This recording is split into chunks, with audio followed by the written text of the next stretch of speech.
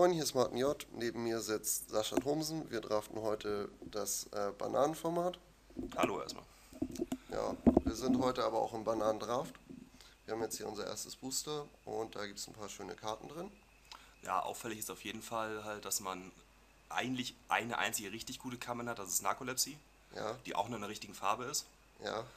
Und Artisan. Ich finde Artisan cool. Ja, aber ich finde Artisan nicht so cool in dem Format, weil man eigentlich dafür grün sein will und grün eigentlich immer völlig overdrafted ist. Ja, im 4-3-2-2 Draft mögen die Leute offensichtlich viel grün. Ja, Ähm, ja, ich mag blaue Karten. Du anscheinend auch. ja ich Dann würde auch auf wir, jeden Fall die Narcolepsy nehmen. Ja, vielleicht kriegen wir wieder vier. Ja, mal schauen, eher nicht, aber man weiß es ja nicht. Ja, okay, schnappen wir uns auf jeden Fall schon mal. Ja, ja.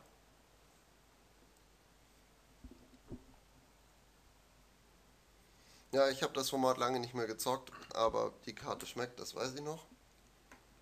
Aber ich glaube, mit dem Deck haben wir sogar irgendwie versagt.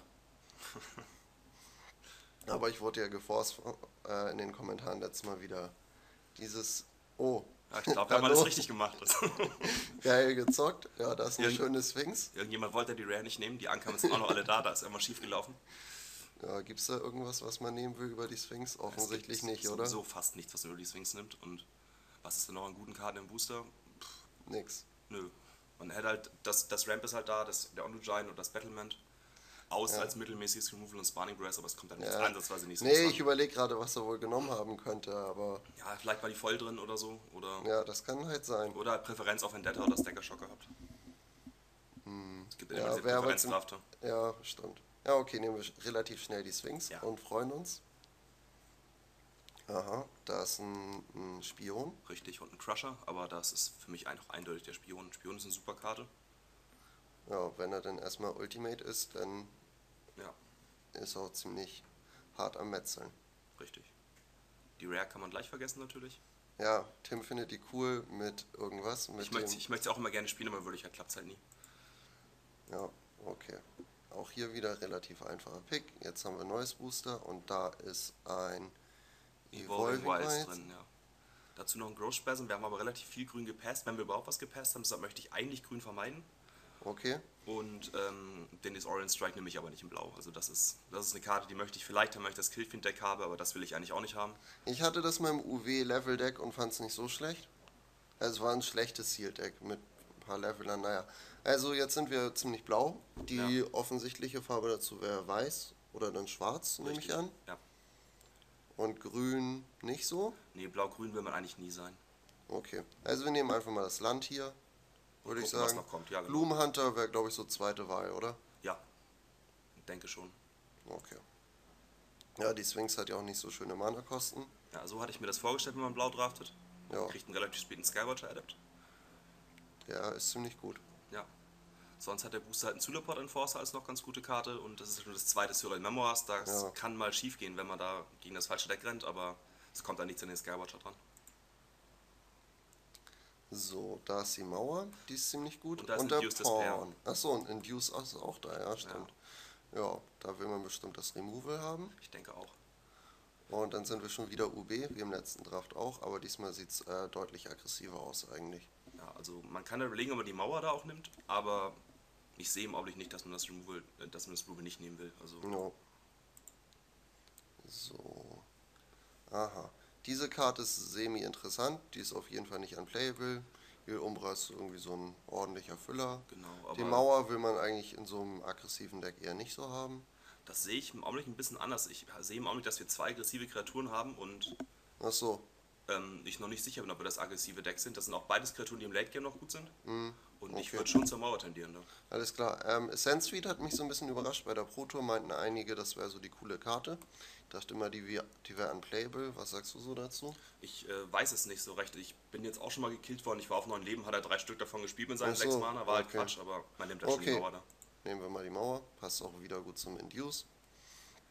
Hier haben wir den geilen Skorpion. Ja, oder Und das den Label. Counter. Der- Oder Ja, das Äh, ist Perish scheidet eigentlich aus. Man hat die Wahl zwischen Counter und Skorpion. finde ich Skorpion eigentlich viel besser. Ich auch. Okay. Ja, da ist der Fettwurm. Ja, und unser Komasoa ist getabelt. Ja. Und der Zoff-Shade. Den fand ich am Anfang awesome, aber dann ist mir aufgefallen, der ist eher scheiße. Ja, er frisst halt das ganze Mana. Also ich spiele ihn eigentlich auch sehr, sehr ungern inzwischen nur noch und würde wahrscheinlich auch zum Wurm tendieren. Wünsche mir aber, dass er nicht im Deck ist. Also ich Okay. mag ihn eigentlich überhaupt nicht, aber Ja, sehe ich auch nicht, warum man den. Oh, hallo. Ja, das ist eine Null. ja, die wird auch genommen. Okay. Sollen sie doch das Memoirs-Deck bauen. Ja. Na, hier ist nichts mehr Ja, am gut. Start. Da kann man nehmen, was Die findet, äh, wie heißt er denn? Nico Boni toll. Ist aber in Wirklichkeit Terrybad. Ich sehe auch nicht, dass man die immer spielen will. Okay, nehme ich einfach mal schwarze Karte und heide sie relativ schnell. Ja, da nimmt man dann doch den Disorient Strike. Auch über Shrivel. Okay. da ist Ja, wir sind immer nur so Farben sind da. Ja, genau. Tappen wir mal vier. Und ah, das hätte ich mal nicht nehmen sollen. Finde ich übrigens eine sehr schöne Karte eigentlich des Ancient Stirrings. Verstehe nicht, dass die so lange immer tapet. Oh, ja, wenn man mehrere Crush hat, auf jeden Fall, der wäre gut. Stimmt schon. Ja, sieht doch ziemlich geil aus, unser Deck, muss ich mal so sagen, nach dem ersten Booster. Ja, Aber, man kann vor allem ausgehen, im dritten werden wir weiter blau kriegen. mhm, mhm. Mal sehen, was jetzt so passiert. Wir haben eigentlich auch bis auf eine Mauer nichts gepasst im Blau. so. Da ist ein Gomazor. Ja, dann haben wir noch eine Wall und einen Regress und das sind so die interessanten Karten. Oh, Arrogant Bloodlord finde ich auch ziemlich stark, Echt? allerdings nicht in dem Deck. okay. Also, siehst du den so wie ich als Mauer? Oder, Ich sehe den eigentlich als Mauer, die aber auch relativ oft angreifen kann. Gerade in rot-schwarzen Decks, wo du dann so mit Last Kiss oder auch mal mit so einem Forkbolt die Token wegschießt. Mhm.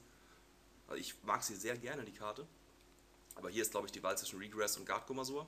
ich finde Gomazor ein bisschen cooler, muss ich mal sagen. Ich tendiere auch zur Gomazor. Okay. Das spricht wieder dafür, dass vielleicht doch nicht das super aggressive Deck sind, aber das hat sich in den letzten Picks ja eh so ein bisschen Ja, klargestellt. ja, dann ist der Spion halt ein bisschen fehl am Platz. Der ist immer noch gut. Okay. Nehmen wir das Guard Gomazor. No. So, was haben wir denn hier? Da haben wir Vendetta. Vendetta, das ist mh, auch einfach die stärkste Karte im Booster. Ansonsten ist da nicht viel. Ja. Hast du ihn schon mal Ultimate aktiviert? Nee, Okay. du oder? Nö, noch nie gehört. Also nie Null Champion, gesehen. ist, Null Champion ist eine gute Karte natürlich, kommt aber auch nicht an Vendetta Nö. ran. Und ja, nimmt man einfach das Vendetta. Passt auch zur Mauer. Ja, noch nicht mal knapp. So, was haben wir denn hier? Das ist ziemlich awesome. Ja, dazu haben wir halt noch eine Dread-Drohne und eine Il Umbra. So als Karten, die uns interessieren eigentlich. Nimmt man eigentlich Hedron, oder? Ja, ich sehe auch nicht, dass man da die Dread-Drohne nimmt. Ich meine, das Mana wird jetzt nicht so toll sein in unserem Deck, aber macht halt immer noch ähm, dann Ja. 9 Mana Concentrate.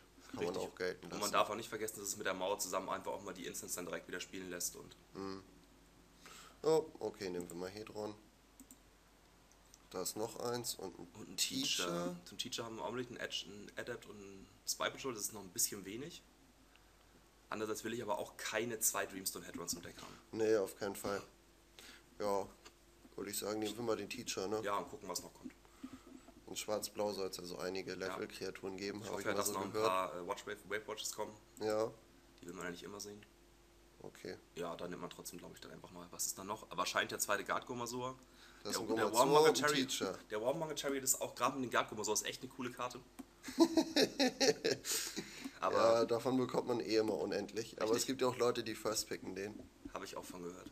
Ja, ziemlich schlecht, aber Nee, also den zweiten Teacher will ich nicht haben, weil wir haben einfach noch kein Level und der Guard Gomazor ist einfach eine super Kreatur. okay. Ja, nehmen wir. So, da ist ein Echo Mage. Ah, das ist eine meiner absoluten Lieblingskarten in dem Format. Ja, wir haben nichts dafür, merkst du selber. Ein Vendetta. Ja, aber guck dir mal den Booster an, da ist da sonst nichts drin. Ja, stimmt. Der Scuttler sieht schlecht aus und ist auch